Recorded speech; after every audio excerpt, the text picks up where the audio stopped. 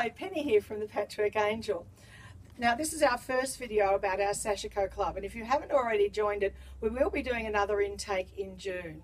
The Sashiko Club, which um, uses these sampler panels and threads, has been so very popular, and it is such a lovely thing to do. But there are a few little hints I just wanted to give those who are already in the club, and for you too at home if, if you're already doing some other Sashiko, to help you along. In your first pack, you'll get a thimble, some needles, a sampler, a thread, and your stabilizer to go behind your, your stitchery, which we put behind all our stitcheries at the Patchwork Angel. But a couple of things that, that you need to know. The thimble is a little bit different to normal. So this is how you actually wear the thimble. And it goes into the palm of your hand. And the reason it does that is that it's there to protect that palm. So as you stitch, stitch, stitch, stitch, you then can use your palm to push through the end of the needle. So that's going to stop you getting a little blister or a callus there, which is a great little tool. Tell your friends about those, they're a great hint. Now I also want to show you how to undo your thread, and there's a little trick to that. So we'll open up a pack of thread. The threads all come in a skein, the ones that we have anyway.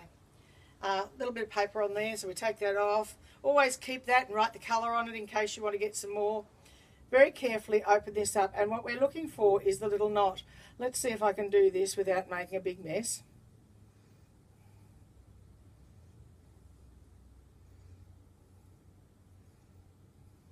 Little bit of a mess.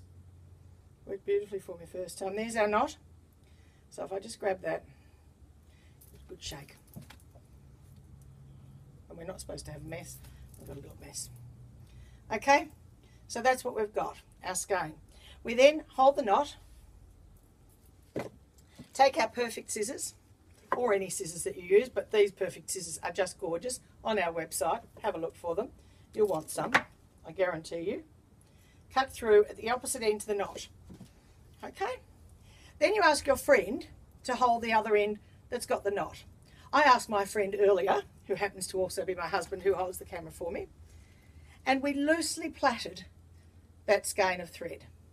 Once that's loosely plaited, and I stress loosely, you can then take one thread and pull it out as you need it without ending up with a big mess. Isn't that fabulous? I reckon that's one of the best little tips I've ever had.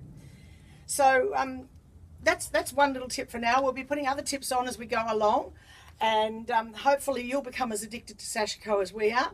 We're going to do the finishing kits. We're still working on the pattern for that. That's going to be so exciting. There's so much happening with that. So we'll talk to you again soon with some more Sashiko hints and a little bit more information.